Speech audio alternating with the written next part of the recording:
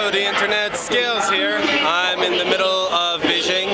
We were just uh, having some food two seconds ago, Kris and I. What were we eating?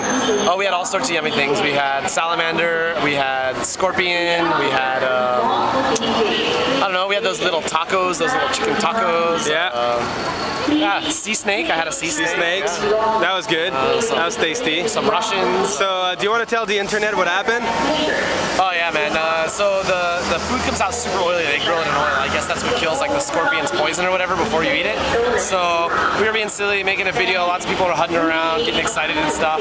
And Scales kind of swings around to take a video of a bunch of the Korean people cheering us on and talking about how awesome his tattoos were.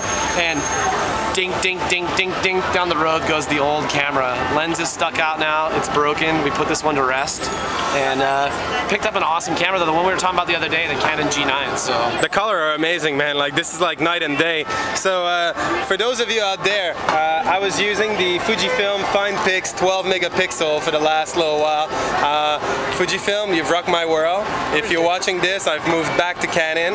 Uh, but if you want to send me a free camera to replace this one that I broke myself by fumbling and eating too much grease, I would much appreciate it because this is perfect size. It goes like really nicely into my pocket and everything. The thing about your new G9 is it has all the exact same controls, settings, and functions as a SLR, Yeah. but it's a compact one that fits in your pocket. You get complete manual controls over it. And it can make film. Yeah, and you can edit film on the camera too. Yeah, that's pretty awesome.